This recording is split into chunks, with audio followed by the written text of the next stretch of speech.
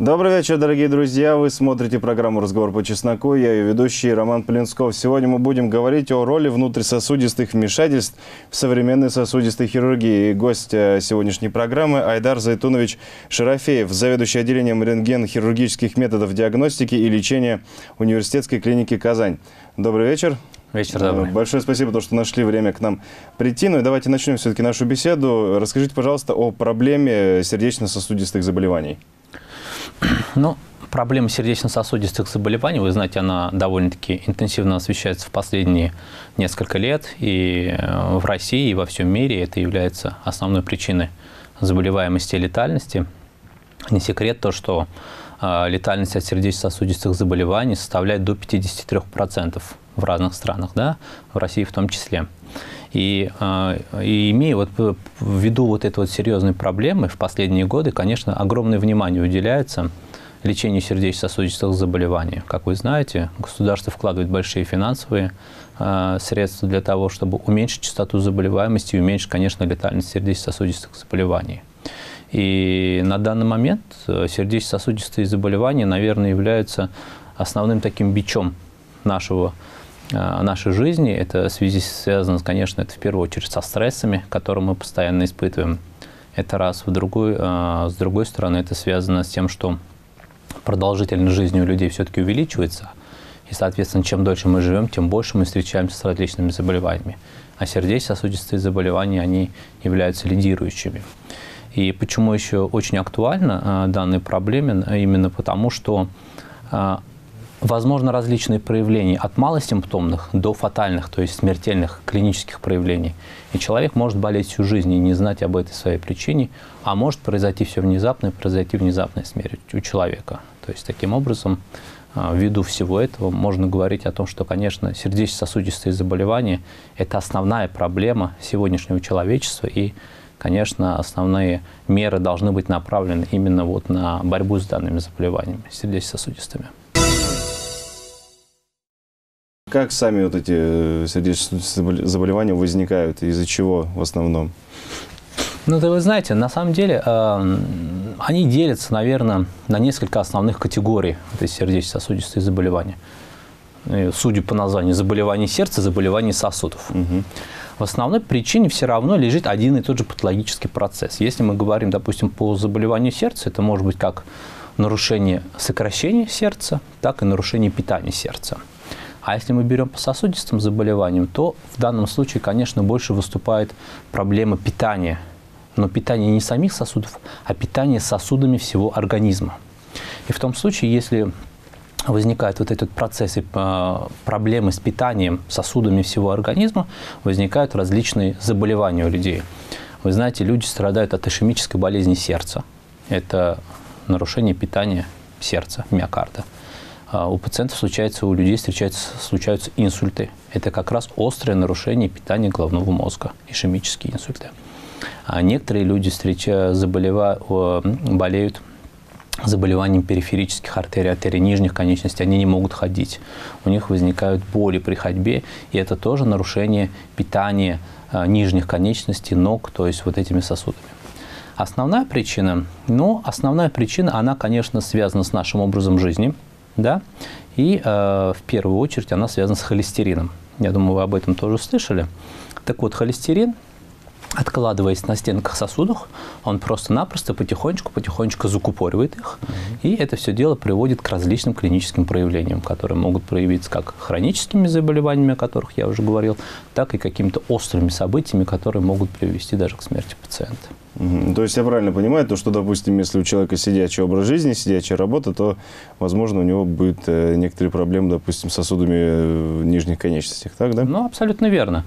Вообще вот эти все факторы риска, они очень подробно освещены, и э, о них уже много написано, можно почитать и в интернете, и в специализированной литературе. И что меня, конечно, радует, то, что современное общество все-таки стало уделять больше и больше внимания вот этим вот факторам риска. Если вы сейчас посмотритесь, то присмотритесь, выйти на улицу, присмотритесь, мне кажется, что курить стали гораздо меньше. Курение – это все-таки основной фактор. Риск сердечно-сосудистых заболеваний – это раз. Во-вторых, люди все-таки стали больше заниматься спортом. Да, люди стараются, идут в фитнес-залы, в тренажерные залы, дают себе нагрузку различную. Да, это стимулирует сердечную мышцу, это улучшивает, так сказать, насосную функцию сердца и тем самым увеличивает эластичность сосудов. Угу. Большинство, вот сразу... людей, большинство людей э, уделяют большое внимание питанию. Это тоже очень важно. То есть качественное угу. питание. Питание должно быть здоровым. В питании, в рационе должны присутствовать овощи и фрукты. Должно быть меньше углеводов. Это очень важно. То есть и э, сейчас смотришь и действительно радует э, то, что сейчас люди стали обращать на это внимание. А возможно тогда такое, то, что, допустим, человек заним... ну, начал, решил, точнее, для себя заняться активным э, таким жизненным образом, начать э, правильно питаться, заниматься спортом, но начать это делать так, что возможно сделать так, что приведет это к тем же самым заболеваниям, допустим, пере... перегрузить себя. Да, конечно, безусловно. Эти все нагрузки, они должны быть, опас... они должны быть постепенными. Угу. Нельзя, конечно, внезапно То есть тоже к этому подходить с умом надо. Абсолютно верно. Я уже вам сказал, есть такое свойство, как эластичность сосудов. И это надо учитывать. Надо учитывать сократительную способность миокарда, насколько твое сердце тренировано, насколько оно выдержит эти нагрузки. Это раз, и во сколько, и насколько твои сосуды эластичны, и они смогут выдержать вот эти вот потоки крови, которые ты заново будешь запускать э, благодаря физическим нагрузкам. Конечно, надо к этому делу подходить с умом. Ну, Безусловно. В разумных количествах и по чуть-чуть, да? По чуть-чуть, по чуть-чуть, mm-hmm. абсолютно верно. А какие методы лечения сосудистых заболеваний существуют и какова их эффективность? Ну, а если мы берем а, лечение сосудистых заболеваний, ну, наверное, все заболевания делятся на большие, так сказать, лечение делятся на две большие группы. Это терапевтическое лечение и хирургическое лечение. Что значит терапевтическое лечение? Терапевтическое лечение – это лечение с помощью лекарственных препаратов, а, различного правильного питания, рациона, если да, соблюдать. Так вот, и э, да, действительно, это лечение, оно эффективно. Но оно бывает эффективно на ранних этапах, когда заболевание только-только начинает прогрессировать, и когда его еще можно остановить с помощью различных медикаментозных препаратов. В том случае, если уже идет далеко зашедшая стадия заболевания, то здесь уже подключается хирургия. И вы знаете о том, что методы заболеваний сердечно-сосудистой системы, они подлежат коррекции – есть э, специалисты, которые называются кардиохирурги, сердечно-сосудистые хирурги или как их там вот называют флебологи или что-то как-то, да. Вот эти вот специалисты, они как раз и занимаются лечениями вот этих вот раз различных проблем сердечно-сосудистой системы. Угу. Так вот. Хорошо, а когда уже надо обращаться к сосудистому хирургу? К сосудистому хирургу? Ну, э, наверное, каждый пациент сам понимает эту грань, когда он ее переходит. Э, если пациент, э, во-первых, длительное время принимает какое-то медикаментозное лечение, пьет таблетки, но они ему не помогают, в этом случае можно уже думать о том, что пациенту требуется хирургическая помощь. Это раз. Во-вторых, если у пациента случилось какое-то острое событие, инсульт, инфаркт, это тоже обязательно необходимо обращаться к сосудистому хирургу, потому что если произошло такое серьезное событие, то, к сожалению, медикаментозно, таблетками только тут уже не поможешь человеку. Вот, а сейчас мы, получается, затронули две такие профессии, как кардиохирург и сосудистый хирург. И ну, для меня, как для журналиста и для многих наших зрителей обычных, э, интересно, чем они отличаются. Ну, а на самом деле это все называется сердечно-сосудистая хирургия. Это все одна и та же специальность, это одни и те же сердечно-сосудистые хирурги, просто в результате, так сказать, э, своей специфики кто-то более склонен заниматься заболеваниями сердца, а кто-то более склонен заболеваниями сосудов. Если мы берем заболевания сосудов, то там тоже идет свое деление. Есть, допустим, э, специалист, который занимается артериями, а есть те, которые занимаются венами, это флебологами, флебологи. А вот эта вот узкая специализация, она, конечно, позволяет более качественно выполнять вот вмешательство на той области, которую ты выбрал для себя приоритетной. Да? И э, таким образом повысить качество оказываемой помощи. То есть это одна и та же специальность на самом деле. Только разные уже отделения, да? Ну, можно сказать, да, каждый занимается своим, но это один и тот же сердечно-сосудистый хирург. Хорошо. Какие изменения в сердечно-сосудистой хирургии произошли в последнее время? Ну, на самом деле, а, медицина вообще очень бурно развивается в последние годы, вы знаете, да. Медицина, наверное, вообще одно из наиболее технологичных отраслей, которое очень-очень бурно развивается. Если взять любую отрасль медицины, вы видите то, что помимо новых препаратов появляются еще новое диагностическое оборудование, которое позволяет э, выявить э, те патологии, которые до этого были, так сказать, невозможно было глазом добраться. Да?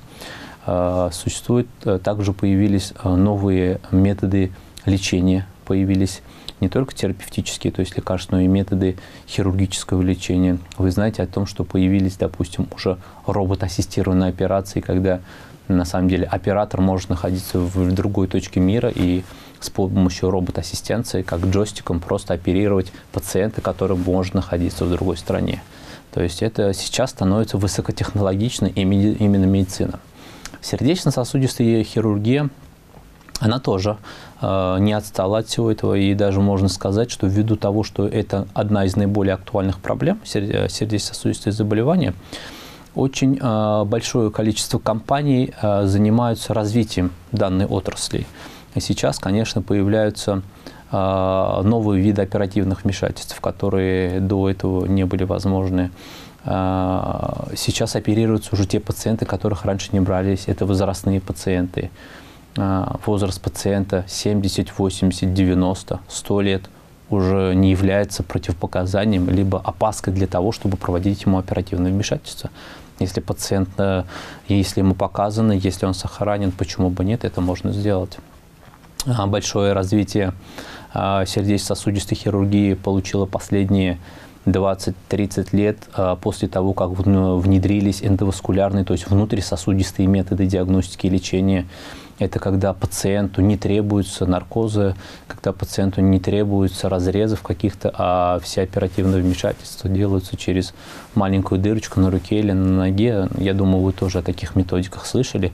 Эти методики, они сейчас, конечно, являются наиболее эффективными, во-первых, в лечении острых сердечно-сосудистых событий, таких как инфаркты и инсульты, да, и хронических сердечно-сосудистых событий, это вот те самые как раз недостаточности кровоснабжения либо кровоснабжение сердца, либо кровоснабжение нижней конечности, то есть ног. Это на данный момент, конечно, огромный прорыв произошел именно после того, как вот эти вот новые методы внедрились в нашу повседневную жизнь, будем вот так вот говорить.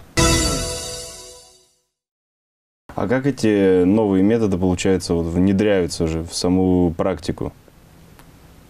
Каким образом они? доходят. Ну что значит они внедряются? Это все происходит постепенно. Mm-hmm. Это все происходит постепенно. И начали внедряться, будем, если брать историю, то это все начало, начали внедряться вообще в 1973 году. Э, да, в 1973 году э, был такой немецкий, немецкий физик Форсман. И однажды он в своей лаборатории будучи, наверное, не совсем в трезвом состоянии, провел себе опыт. Ну, опыт, не опыт mm-hmm. такой, шутка у него была. Он взял мочевой катетер и ввел себе в вену. Просто засунул, как далеко он зайдет. И этот катетер ушел куда-то очень далеко. Он удивился, что это зашел очень далеко и спустился на этаж ниже, где стоял рентгенологический аппарат, где можно было рентгеновский снимок сделать. Он сделал рентгеновский снимок и понял то, что катетер находится в правых полостях сердца. И таким образом он открыл о том, что через сосуды можно попадать в сердце и заниматься уже какими-то вмешательствами на сердце. Ну, конечно, его уволили за такие вещи. А, э, вы понимаете, то, что такие вещи нельзя делать. Mm, как с- сразу на себе, да? Как не на себе, и вообще, то есть за такие шалости, то есть его, конечно, mm-hmm. уволили, но через какое-то время другие его последователи развили эту идею, получили Нобелевскую премию, и в дальнейшем начали вводить различные красящие вещества, контрастные вещества внутрь, в полости, смотреть анатомию сердца. И постепенно-постепенно научились, то есть не просто изучать сердце, допустим, да, но уже воздействовать на сосуды, приоткрывать их, если они прикрыты, устанавливать туда какие-то импланты, которые создают каркас и держат вот эти вот суженные места. То есть постепенно-постепенно это все развивается. Сейчас уже дошло до такого, то, что вы, наверное, слышали о том, что сейчас уже через ту же самую, через артерию, то есть через прокол меняются клапаны. Меняются клапаны сердца, артальный, митральный клапан. А клапан – это, извини меня, это 2,5-3 сантиметра в диаметре образования, которое заводится в сердце в собранном виде, потом внутри раскрывается, устанавливается, и оно полноценно несет на себе функцию. При этом пациент, нет ни пациента, ни разрезов, ничего на пациенте. И это, конечно, совершенно уже э, другие уже миры сейчас пошли по сравнению с тем, что было несколько лет назад. Ну что ж, продолжим наш разговор. Э, стало интересно о таком явлении, как тромб, который, как мне известно, тяжело найти, и он может резко как-то так оторваться, что ли, с летальным исходом. Ну да, действительно, острые тромбозы, острые тромбы – это действительно основная причина летальных исходов. А что значит вообще тромб? Тромб, он образуется в результате того, что нарушается целостность внутреннего слоя сосуда, и на его поверхности начинают скапливаться форменные элементы крови, то есть тромбоциты, эритроциты, фибробласты, образуется фибрин, и как раз образуется тот самый тромб. Чем опасен тромб? Тромб опасен тем, что как он может, он, он не статичен, он не просто стоит и он перекрывает сосуд, он способен мигрировать. И в том случае, если он с потоком крови мигрирует, в этом случае, конечно, этот тромб может улететь в сердце, в голову или в другие а, а, организмы, органы, прошу прощения. И вы понимаете, единственным правильным лечением, то есть если логически даже подумать, либо растворить надо этот тромб срочно, угу. либо этот тромб срочно надо извлечь.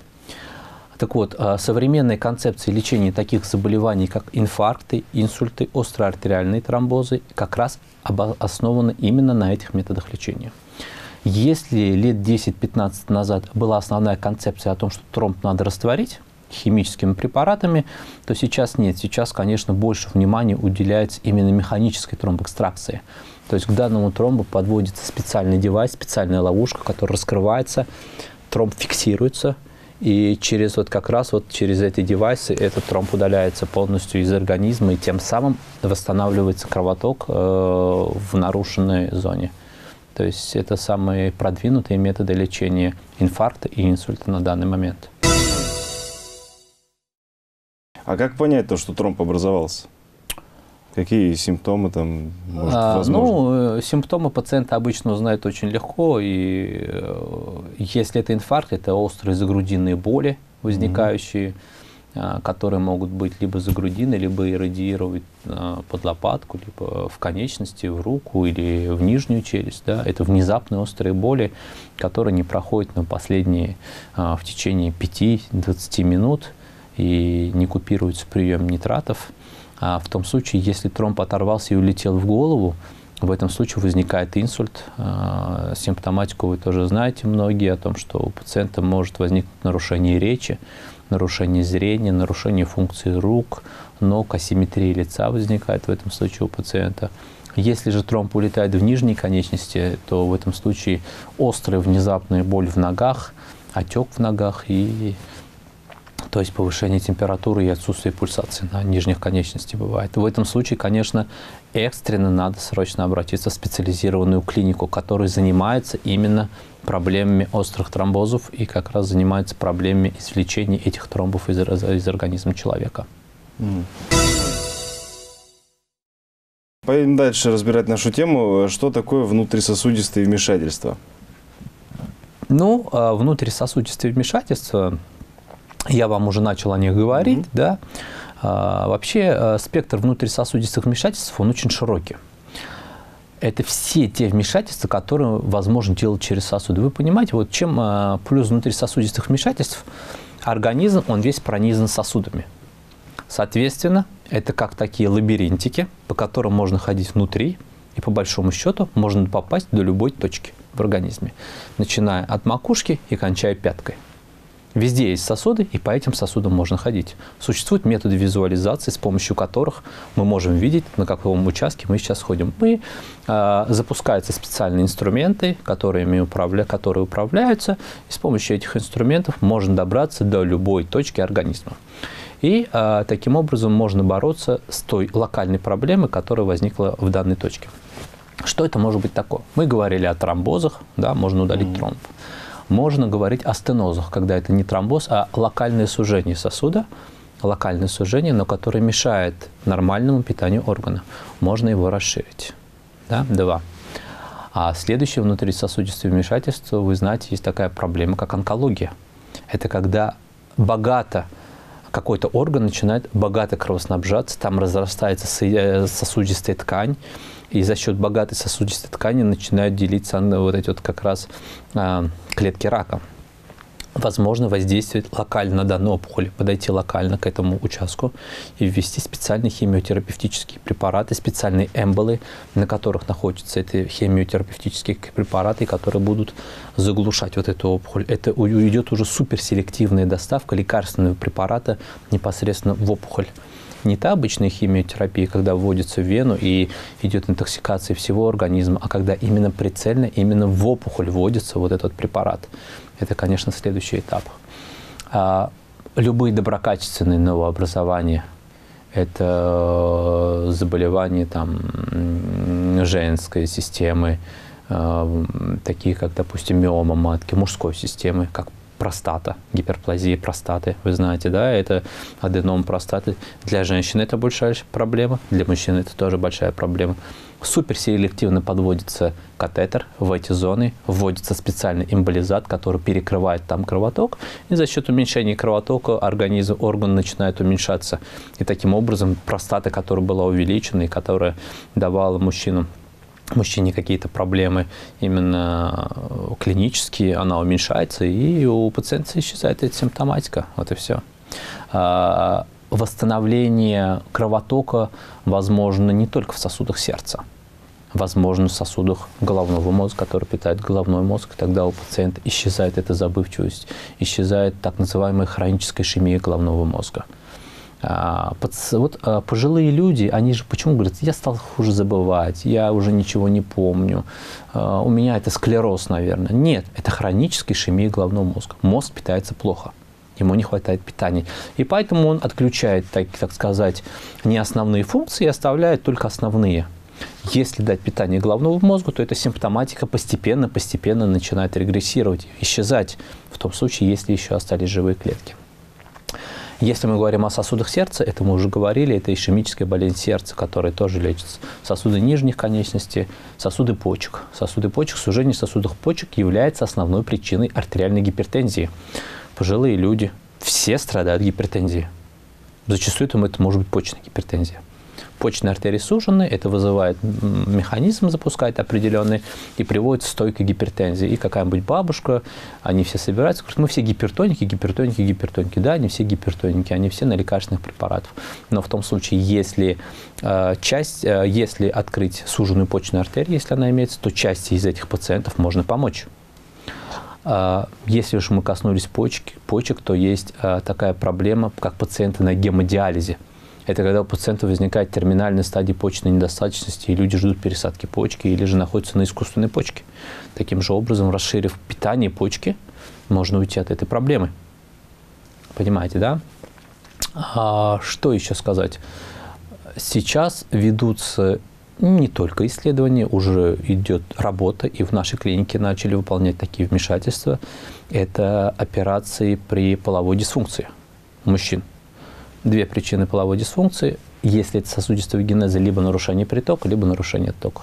Мы можем либо улучшить приток, либо ухудшить отток. И таким образом решить данную проблему тоже.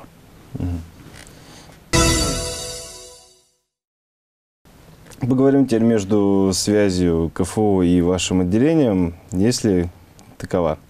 Да, ну, э, как уже было представлено, мы, э, я работаю в медико-санитарной части э, Поволжского федерального университета, и мы являемся структурным подразделением Казанского федерального университета, благодаря чему у нас идет тесная интеграция – это науки, которые осуществляются в стенах КФУ, и наша практическая работа – то, чем мы занимаемся конечно. И благодаря этому, конечно, все новейшие разработки, которые проходят исследования в стенах Казанского федерального университета, непосредственно попадают сразу в стены нашего отделения, и мы пользуемся этими благами и пытаемся эти блага принести на пользу нашим пациентам, тем людям, которых мы лечим. А со самими студентами э, приходилось работать? Они как-то подключаются к работе вашего отделения? А, да, вы знаете, э, опыт работы со студентами был у меня и, и есть. И что я могу сказать о том, что а вообще внутрисосудистая хирургия – это очень молодая наука, очень молодая специальность. И а, студентам, студентам-медикам, конечно, очень интересно то, чем мы занимаемся. Они всегда с большим интересом и с большим восхищением стоят в нашей пультовой и смотрят там через стекло или смотрят на мониторах, кто как мы оперируем. И когда мы выходим мы объясняем, что вот сейчас это был пациент с инфарктом, но мы ему удалили тромб и спасли ему жизнь, конечно, ему это очень нравится. Я только за интеграцию и совместную работу практической медицины и студентов.